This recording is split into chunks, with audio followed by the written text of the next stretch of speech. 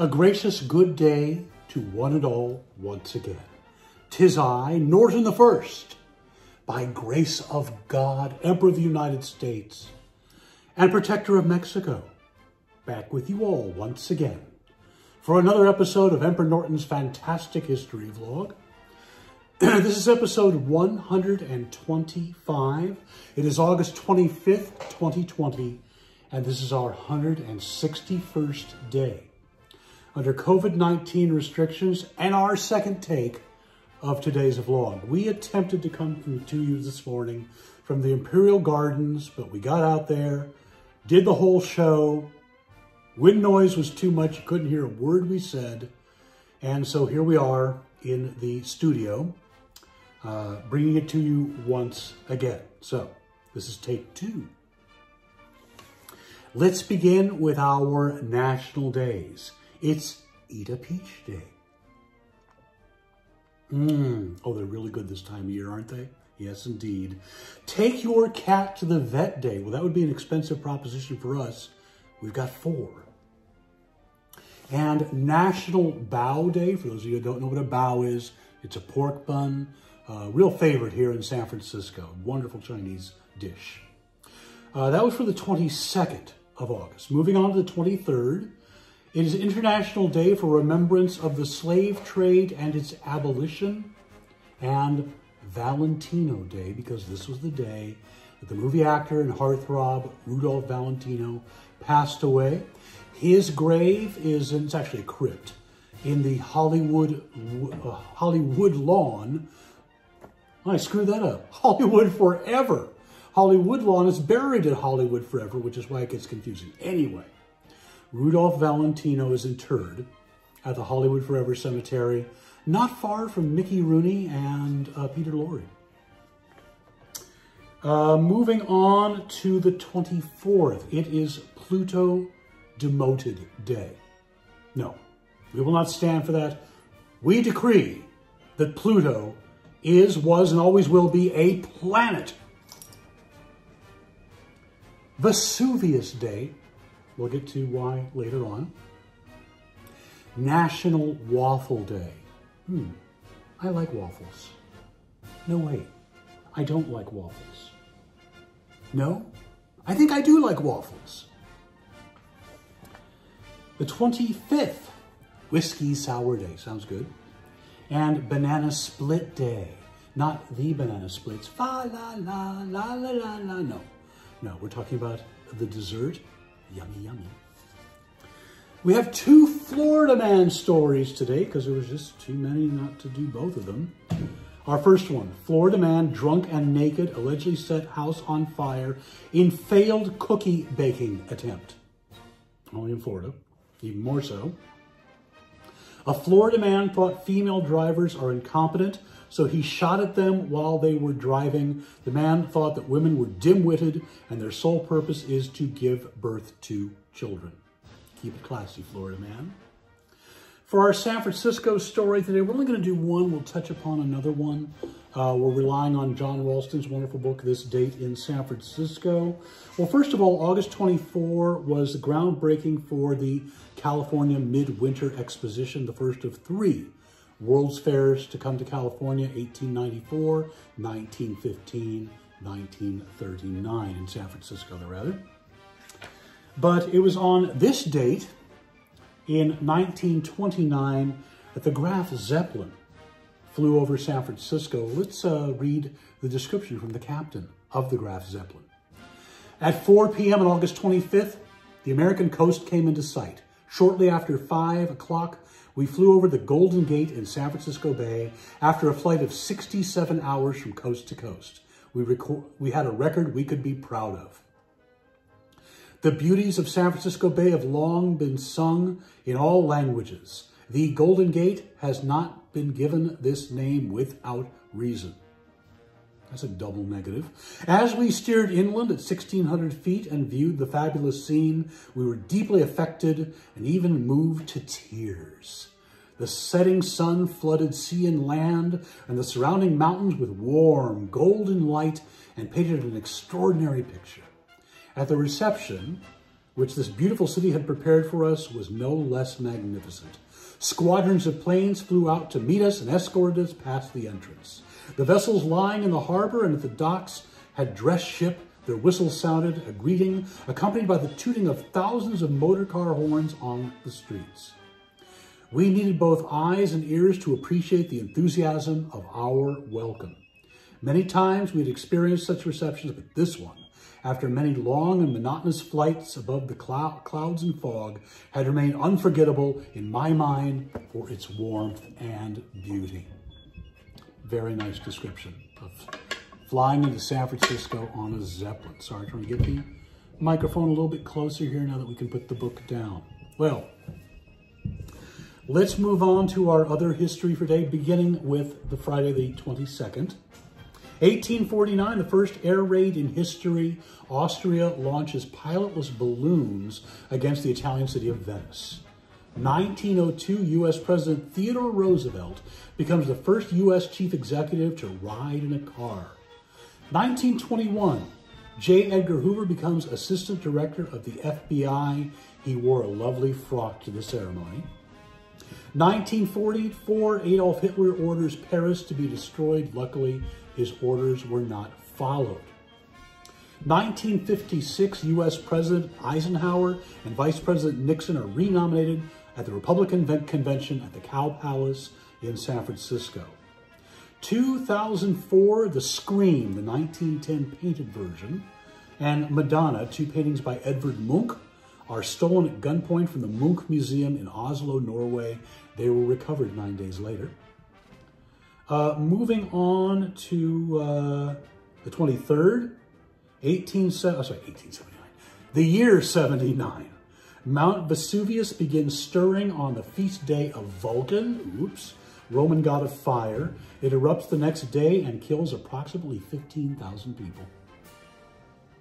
1869, the first carload of rail freight, boots and shoes, arrives in San Francisco from Boston after a 16-day trip. 1872, the first Japanese commercial ship visits San Francisco. It's carrying a load of tea.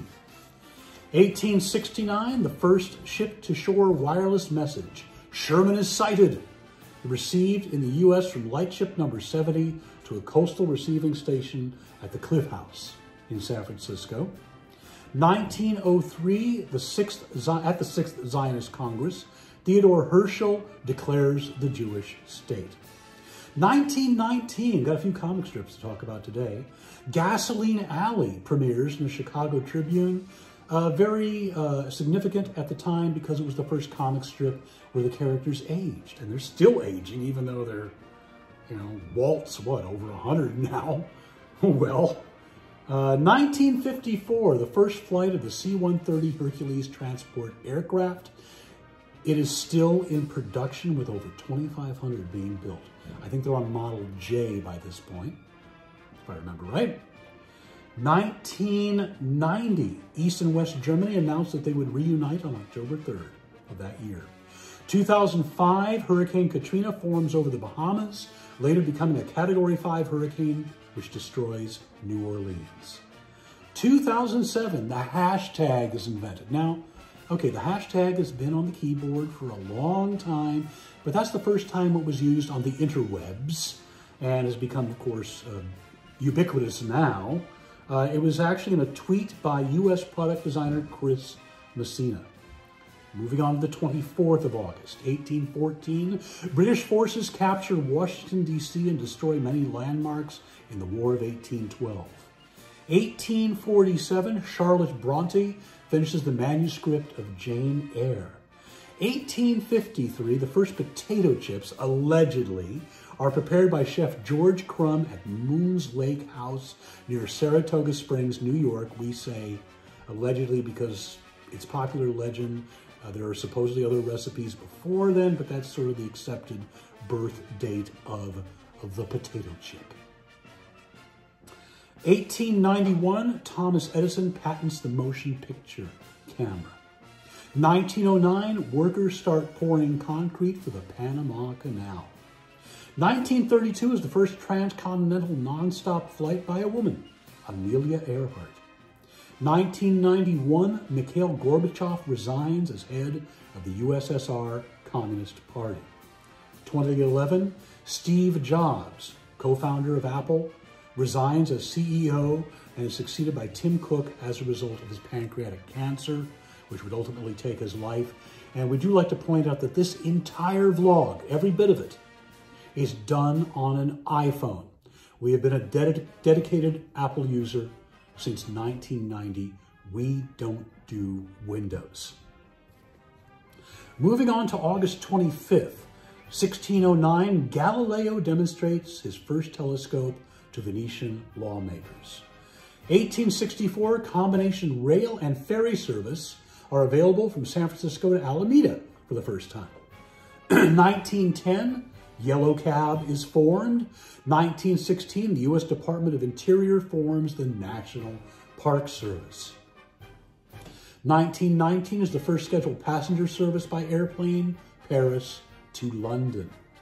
In 1958, Momofuku Ando markets the first package of pre-cooked instant noodles, chicken, C-H-I-K-I-N, ramen. So that was uh, solves a mystery for us because we were wondering why there is a chain of ramen restaurants. There's one here in San Francisco in J-Town, hugely popular, called Momofuku. Well, it's named for the inventor of instant ramen. There you go. 1991, Linux was born when Linus Torvalds sends off an email announcing his project to create a new operating system. 2012, Voyager 1 spacecraft becomes the first spacecraft to enter interstellar space. It was launched in 1977. Let's move on to our births today, shall we? Starting off with the 22nd, 1862, the composer Claude Debussy. 1880, George Herriman, American cartoonist, comic strip again. He was the creator of Krazy Kat. Uh, remember, Ignatz the rat was in love with Krazy Kat, so he'd throw bricks at her head to show how much he loved her and was always arrested by Officer Pup. 1893, the birth of Dorothy Parker, who wrote one of my favorite poems about the martini. I'd like to have a martini, she wrote. Two at the very most. After three, I'm under the table. After four, I'm under my host. 1904, the birth of Deng Xiaoping, Chinese revolutionary and paramount leader of China for a number of years. 1920, the great science fiction writer Ray Bradbury. 1934, General Norman Schwarzkopf, Stormin' Norman. Moving on to the 23rd, uh, 1895, Blossom Rock. That's a name you might not be familiar with unless you were a fan of the original TV series of The Addams Family, for she played Grandmama. Little known fact, she is the sister of Jeanette MacDonald, who starred in the movie San Francisco with Clark Gable and Spencer Tracy, sang the song San Francisco. San Francisco, open your golden gates. You know the song, right? Countess and I have sung it on a number of occasions. Better than that. Um, also, Blossom Rock was a navigational hazard in the middle of San Francisco Bay. It was a submerged rock. It was blown up in the 1800s to make the uh, waterway more clear for cargo traffic. Everybody in the city turned out to watch that. It's depicted on a mural in the Palace Hotel. If you go through the Pied Piper Lounge and the restaurant, there's two murals. We are depicted on one panel, and the implosion of Blossom Rock is there as well. Oh, Samuel Clemens, Mark Twain, he's on the mural. Uh, who else? Lotta Crabtree, possibly the Countess. Oh, it's a great mural if you ever get a chance to see it. We'll try to put a picture up here of it because it's really a very overlooked mural and a very good one. And we're not just saying that because we are on it. It's a great mural. Where were we? 1933, the birth of Pete Wilson, the 36th governor of California. 1940, Valerie Harper. Um, of course, we remember her uh, from the series uh, Mary Tyler Moore Show, had her own spinoff for a while, had a series later, which she was fired from, long story. Passed away recently, though. Great actor. 1960, pop artist Rodney Alan Greenblat, he's sort of a neo-pop artist. He was born around the time of pop art. He was born here in San Francisco, though. Love his artwork. Moving on to the 24th, 1933, Yasser Arafat, chairman of the Palestine Liberation Organization. 1934, I Dream of Jeannie herself, Barbara Eden. 1945, Marsha P. Johnson, uh, African American, gay liberation, AIDS activist, drag queen, transgender, pioneer, Stonewall veteran. She was there that night. She is possibly credited with throwing the glass that broke the mirror that started the riot, but numerous people have claimed that. Uh, but we'll go with we'll go with her. Yes, indeed. And 1947, drummer for The Who, the crazy, wonderful Keith Moon. Moving on to the 25th, 1530. Ivan the Terrible. Oh, he wasn't that bad. 1796, James Lick, American land baron, our former landlord. 1819, Allan Pinkerton, American private detective, founder of the Pinkerton Detective Agency. There was a San Francisco link to that because Dashiell Hammett was a Pinkerton detective, worked in the Flood building where their offices were. Right next door, John's Grill, home of the Maltese Falcon, because that's where Hammett wrote much of the Maltese Falcon. They're reopened, by the way. They're doing sidewalk service right now. Go by there. 1936, Bret Harte, a great uh, author and San Francisco, was here for a time. 1913, another cartoonist, but I gotta say, one of my absolute favorites. Walt Kelly drew the comic strip Pogo, and um, just a wonderful, wonderful cartoonist and animator. He even animated uh, Pogo. If you search the YouTube, well, you're on there now watching this probably, uh, there it's on there, and it's really very good. But Pogo is a great comic strip. If you're never, if you've never read it, you can find it. It's just the best. Where were we? Oh, 1916, the actor Van Johnson. Uh, 1917, Don DeFore, Mr. B on Hazel. 1917, the actor Mel Ferrer. 1918, Leonard Bernstein, Leonard Bernstein, which is correct. You say Bernstein, I say Bernstein. Let's call the whole thing off.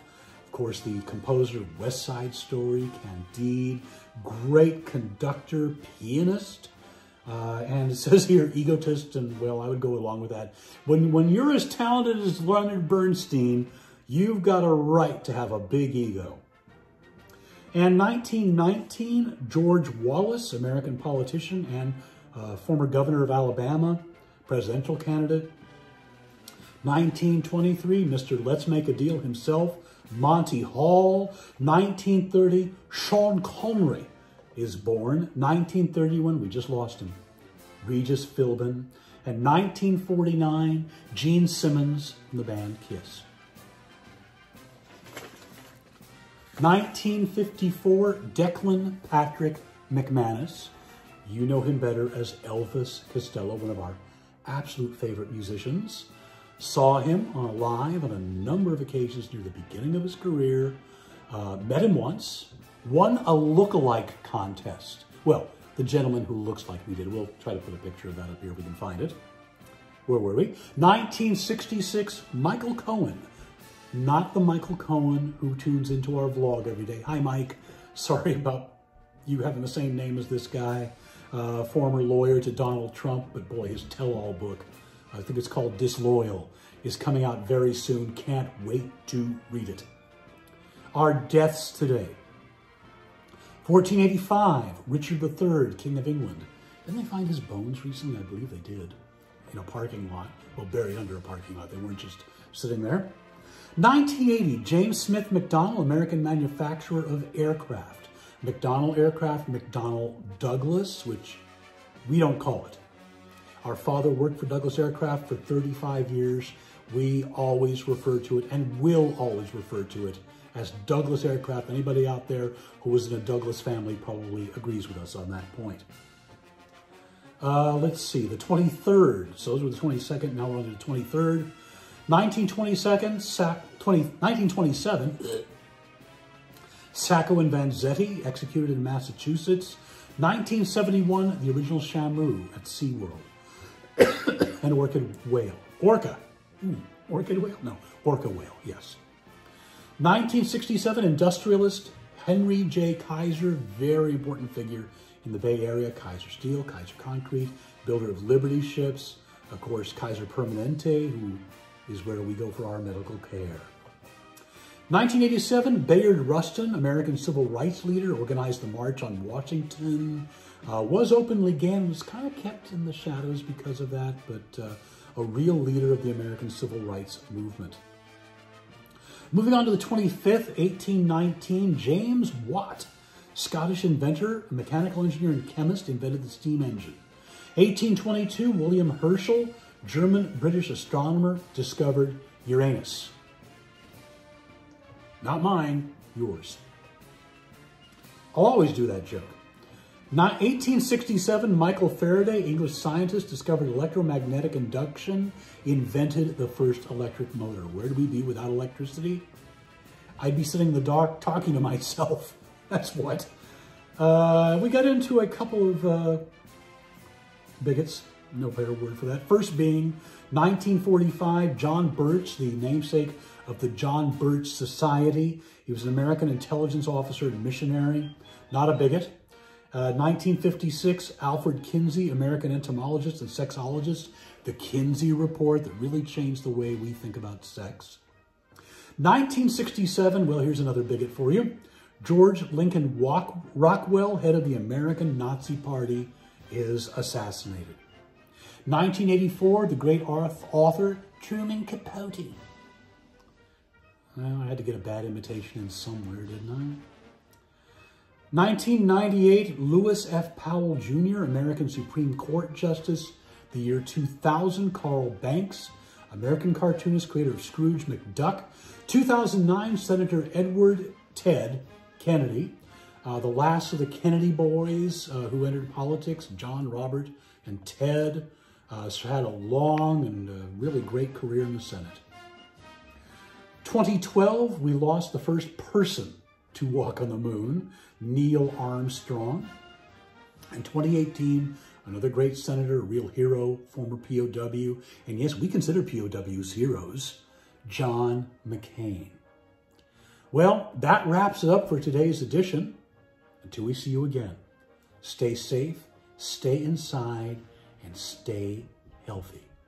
If you do go outside, please wear a mask. I've been reading more and more reports on just how important mask wearing is. I, we are just appalled by the stupidity of the anti-mask people, but this is the state we live in right now, unfortunately. Uh, don't take unproven cures. What's the one today? Oh, blood plasma. Uh, yeah, don't take unproven cures. Listen to the scientists, please, not the politicians.